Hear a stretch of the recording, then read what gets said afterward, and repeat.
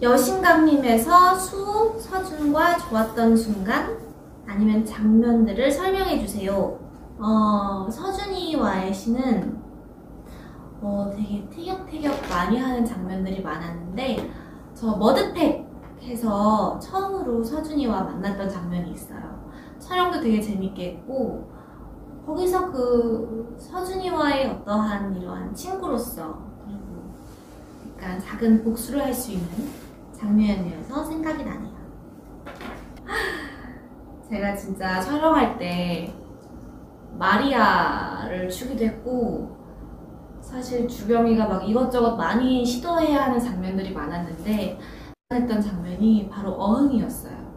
과연 이 어흥을 어떻게 해야 될지 음, 제가 민망해하면 보는 분들도 민망해할까봐 조금 부담이 많이 됐던 겁니다. 어흥. 어흥은 언젠가 언젠가 정말 언젠가 해드릴게요. 어흥 한 번만 해주세요. 아 여러분 어흥은 아우 안 돼요 민망해서 어흥은 그 그저 저 여신장님의 보면 되게 자세하게 잘 나오는 장면이 있더라고요.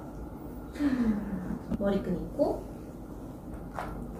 또 하필 어흥 스티커가 있네요. 오늘 어흥과 굉장히 연관이 많이 되는 차 보내줬을 때 제가 넣어놓은 어흥 스티커 있고 음. 그 다음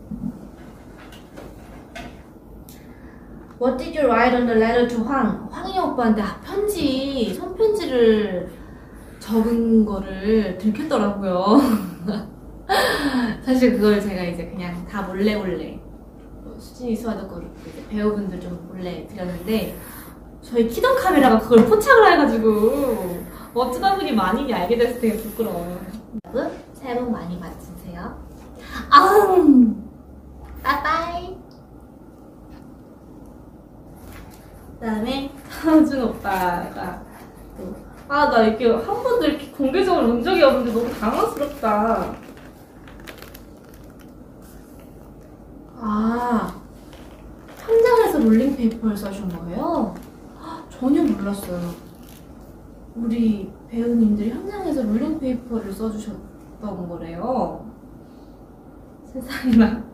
근데 서준 오빠는 글씨체도 예쁘네요. 참. 너 덕분에 서준이가 더 멋지고 많은 분들께 사랑받을 수 있었던 것 같아. 그리고 혹여나 힘들고 고민이 생기면 연락해. 다시 한 번 너무 고생했고 행복해야 돼. 라고 넣었어요.